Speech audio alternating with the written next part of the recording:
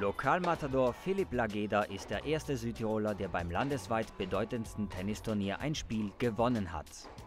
Die 64. ATP Challenge in Gröden wird heuer zum zweiten Mal als Herrenturnier ausgetragen.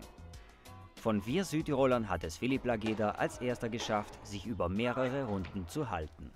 Als Tennisspieler ist es, will man immer gewinnen, nicht? aber ähm, für mich die Bedeutung ist schon daheim zu spielen, die Möglichkeit haben, da aufzuschlagen vor heimischem Publikum im, im eigenen Tal, wo man wohnt oder wo man aufgewachsen ist. Und das ist sicherlich primär der Grund. Nicht? Und Spaß haben steht da sicherlich im Vordergrund. Turnierdirektor Wolfgang Wanker hat nach elf Jahren Damentennis bewusst in den vergangenen Jahren auf die Herren gesetzt.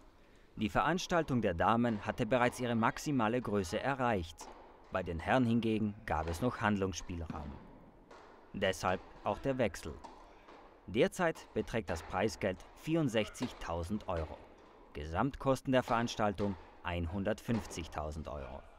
Trotz der schwierigen Wirtschaftslage soll das Event in Zukunft deutlich weiter wachsen und an Bedeutung zunehmen. Bei den Herren kommen noch auf 85 und auf 106.000 steigen. Und das wäre in dieser Struktur möglich. Natürlich, äh, wie gesagt, die Möglichkeiten sind dann vorgegeben von den Sponsoren und organisatorisch hätten wir sicherlich kein Problem, auch 106.000 äh, Euro Turnier zu organisieren, weil die Organisation ist dieselbe. Ähm, wir hätten nur mit besseren Spielern zu tun und das könnte das Ziel sein für, für die Zukunft. Trotz der breit gefächerten internationalen Beteiligung mit beispielsweise Spielern aus Indien, Australien und den USA fehlt leider der einheimische Tennisstar. Andrea Seppi zog es vor, in Paris zu spielen. Ja, Seppi ist Nummer 51 der Welt. Er hat äh, dieses Jahr äh, wieder gehofft, ins Hauptfeld in Paris reinzukommen. Das ist ein Masters Mille Turnier, also nach dem Grand Slams Turnier das größte Turnier, die größte Turnierserie. Und äh, der Andreas ist ein Profi und er schaut natürlich, dass er dort, er hat gehofft, dass er dort reinkommt. Heuer ist es nicht uns gelungen, dass er äh, nach Gröden kommt spielen, aber ich bin zuversichtlich, dass es in den nächsten Jahren einmal klappt und äh, wenn es soweit sein wird, dann werden wir uns alle darüber freuen. Neben Philipp Lageda nahmen nur drei weitere Südtiroler an dem Turnier teil. Jakob Nicolussi, Matthias Wolf und Patrick Prader. Leider sind alle drei bereits in der ersten Runde ausgeschieden. Prader, der in Gröden als Tennislehrer arbeitet, verfolgt indessen als Zuschauer mit insgesamt 9000 weiteren Interessierten die Spiele. Nein, es ist schön mitzuspielen, weil ich mache ja der Tennislehrer und, äh, und die Möglichkeit auf so große Turniere habe ich ja noch nicht mehr mitzuspielen und, und deswegen war es schön, dass ich da dabei war. Unter den Tennisprofis und Fans verfolgt auch die neue U14-Italienmeisterin Verena Hofer die spannenden Matches in ihrer Heimhalle. Sie betrachtet das Ganze als Anschauungsunterricht. Schließlich möchte sie irgendwann einmal zur Weltspitze gehören.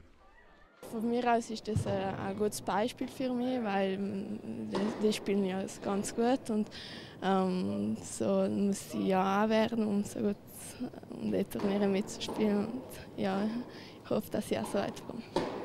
Markant für die ATP Challenge in Gröden sind die schnellen Bälle, die schon mal über 200 Stundenkilometer in Richtung Gegner geschmettert werden. Dafür gibt es zwei Gründe.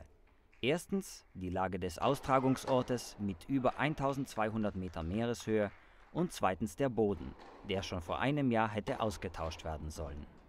Wir haben die notwendigen Schritte jetzt schon eingeleitet, dass es nächstes Jahr wirklich zu dem kommen wird. Und wir werden im Frühjahr, Sommer nächsten Jahres den Boden dann äh, umbauen, immer wenn die Finanzierung kommt. Aber ich denke, da, da sind wir jetzt auf einem guten Weg. Und wenn das äh, garantiert wird, dann werden wir das, äh, de, de, den Umbau tätigen. Und dann werden wir nicht auf einen Teppichbelag spielen, sondern auf einen äh, Kunstboden. Ich glaube, es gibt relativ wenig Turniere auf der Höhe, deswegen ist es für sicherlich für viele ungewohnt, so hoch zu spielen. Und ähm, ja, die Bälle fliegen weiter, das Spiel ist schneller, die Aufstiege sind schneller. Ja, es, wie gesagt, es ist, ich würde sagen, es ist schwieriger zu spielen.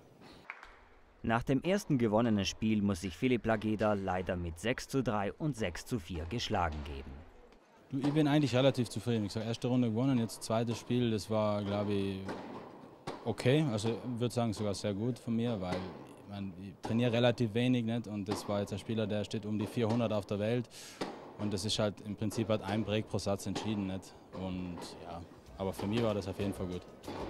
Am Wochenende wird die Entscheidung um den Turniersieg fallen. Leider ohne Südtiroler Beteiligung. Doch ein spannendes Match wird es allemal werden.